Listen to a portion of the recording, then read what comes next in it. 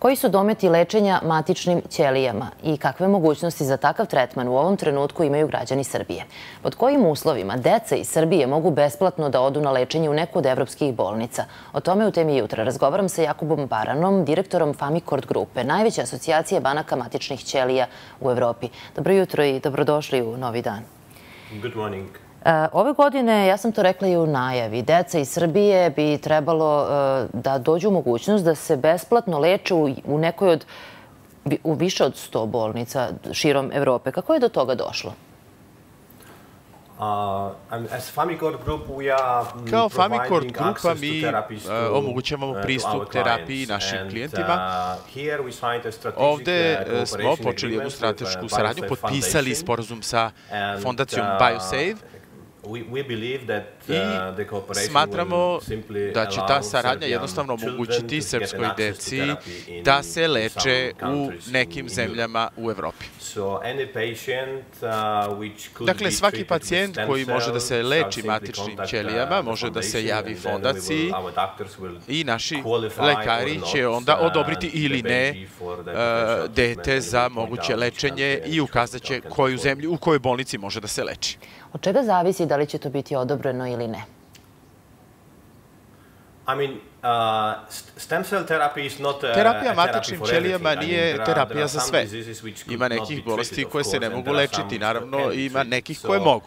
Uh, Pošto su to eksperimentalne terapije, svaki pacijent se leči na individualni način. Tako da moramo da razumemo e, istoriju bolesti pacijenta, odnosno deteta, bebe, istoriju zdravlja u porodici, to je takođe važno. I jednostavno kvalifikacija, tako da kažemo, zavisi od odluke lekara i zavise od brojnih faktora. Sa praktične tačke gledišta, Mi ćemo uh, pokušati da dobijemo što više podataka je moguće i zatim da nekog predkvalifikujemo, dete, na nivou fondacije, zatim na nivou Famicor grupe, a zatim otići u bolnicu da se posavitujemo sa lekarima, da vidimo da li će oni odobriti pacijenta. To nije automatski, komplikovano je i mi ne želimo da da bi, bude bilo kakvog rizika za pacijentu, procedura traje, ali postoji uh, prilika koju danas ne možete dobiti u Srbiji. Ono što prvo upadne u oči kada se pročita, na primjer, ta vest jeste da će deca dobiti priliku da se besplatno leče u, u, u tim bolnicama. Na koji način je to obezbeđeno? Uh, Fondacija će jednostavno pomoći sa finansijske tačke gledišta da se to ostvari. To nisu besplatne terapije. Naravno, postoje uh, troškovi, ali te uh, troškove snosit će, odnosno pomoći će fondacija, a i Famicort grupa.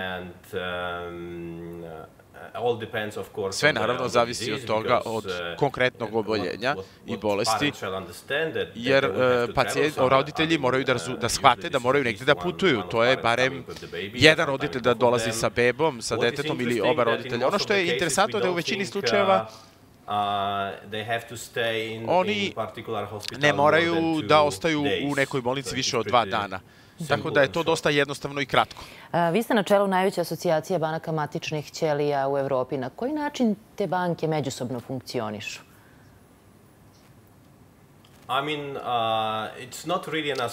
To nije asocijacija. Jednostavno postoji jedna matična kompanija koja kontroliše te banke širom Evrope. Počeo od Španije, preko Italije, Poljske, Mađarske, Rumunije i Turske i Letonije na severu.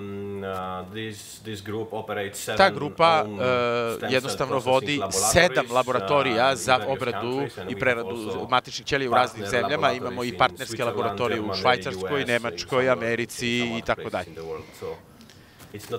To nije udruženje, nije asocijacija. Vi po profesiji niste doktor, ali ste vrlo dobro upućeni u te stvari. Postoji značajan napredak na polju uh, lečenja matičnim ćelijama. Dakle, dokle smo stigli u toj oblasti? Uh, Prošle godine uh, dva velika suđenja završena su u Americi uh, korišćenjem sobstveni ćelija. Dakle, u lečenju cerebralne paralize i autizma i jednostavno rezultati su toliko obećavajući da je Univerzitet Duke u Americi nastavi, odlučio da nastavi sa eksperimentima. Čini se da je to nešto što bi sektor bankarstva matičnih ćelija, što je čekao na to, dakle, više od 10 godina.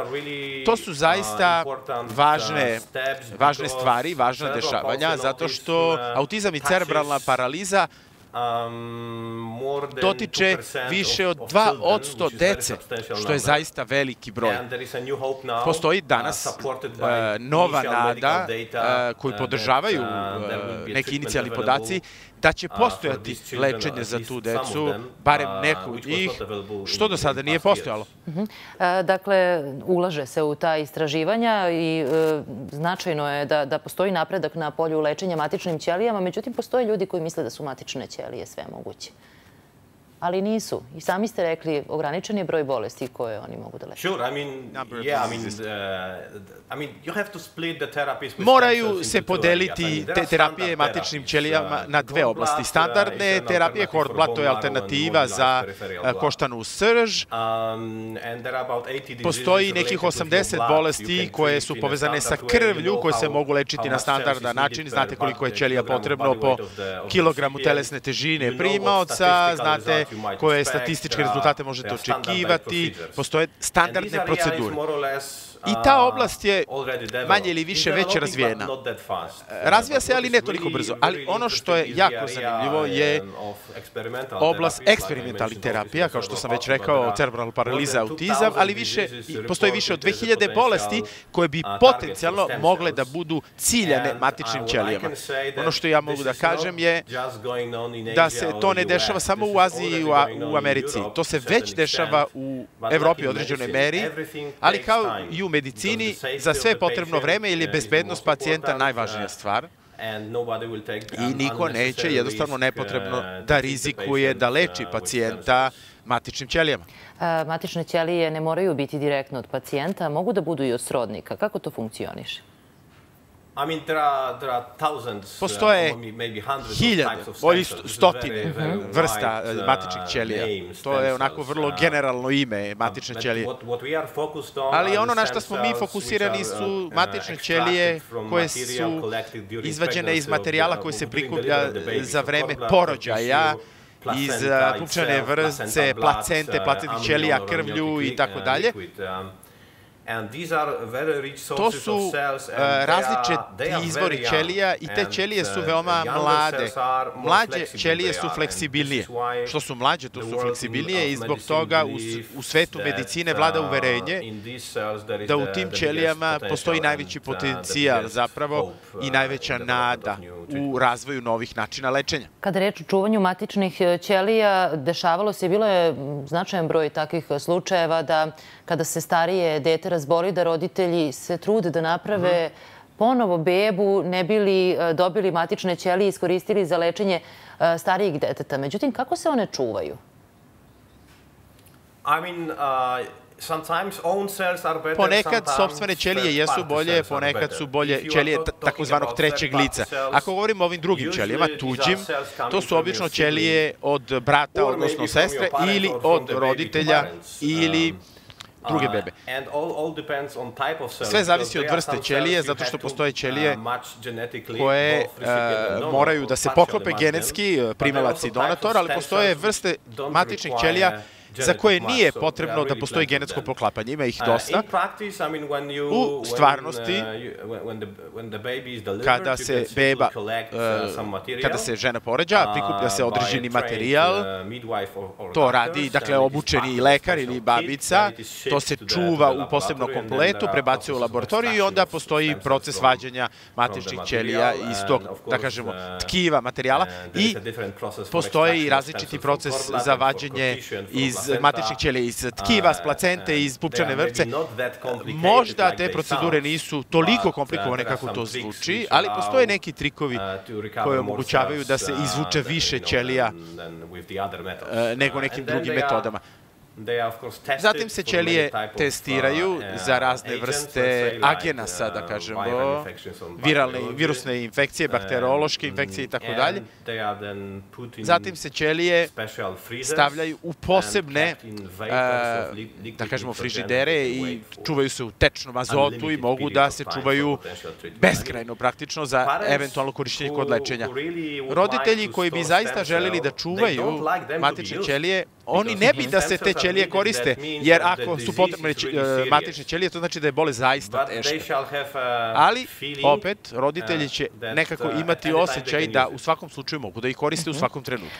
Međutim, za građane Srbije čuvanje matičnih ćelija nije jeftino s obzirom na životni standard građana Srbije. Kakve su tendencije u svijetu? Da li postoji mogućnost da sa brojem ljudi koji žele da čuvaju matične ćelije, možda i cene toga padaju?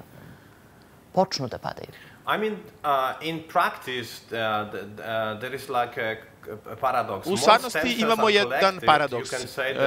Više se ćelija prikuplja i samim tim uh, nude se niže cene, jer su troškovi niži. Ali ja bih rekao da su cene u Evropi manje više iste. Naravno, ima razlika od zemlje do zemlje. Uh,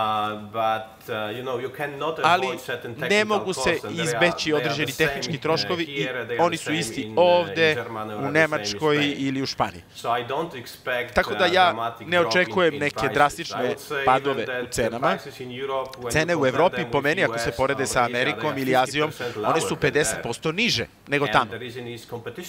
Jer postoji konkurencija, ima puno kompanija u Evropi koje nude tu vrstu usluga i zbog toga su cene još uvek visoke, ali mnogo niže nego na drugim kontinentima. Ja verujem da bi svi roditelji voleli da imaju mogućnost da sačuvaju matične ćelije svog e, deteta, ali e, koliko je važno postojanje nacionalnih banaka matičnih e, ćelija. Mi, na primjer, u Srbiji to nemamo.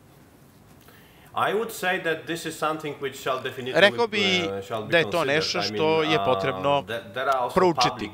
Postoje i uh, javne državne banke matičnih ćelija u raznim zemljama na svetu. To je izvor matičnih ćelija za, da kažemo, građane. Postoje registri, svetski registri gde javne te državne banke razmenjuju informacije o donatorima i ja smatram da će svaka zemlja imati takvu državnu banku matičnih ćelija. Ne radi se o konkurenciji sa privatnim bankama. To je nešto što je potpuno drugačije. Recimo, ako nekoliko procenata E, porođaja u Evropi ima veze sa čuvanjem matičnih ćelija iz ovih pupčanih vrpca. Obično se to e, baca. Tako da ima prostora i za javne i za privatne banke matičnih ćelija i recimo u Španiji uh, imamo e, jako dobru javnu uh, banku, ima ih nekoliko, jako su dobro organizovane i paralelno sa time postoje razne privatne kompanije, porodične banke matičnih ćelija i postoji suž suživot. To nije lak suživot, ali dobro. Ukupno gledano, pacijenti sve to mogu da koriste. Hvala vam što ste došli u Novi dan da govorite o ovoj temi dok ste sada u Srbiji. Thank you. Ostanite uz Novi dan. Uskoro idemo u Pyeongchang.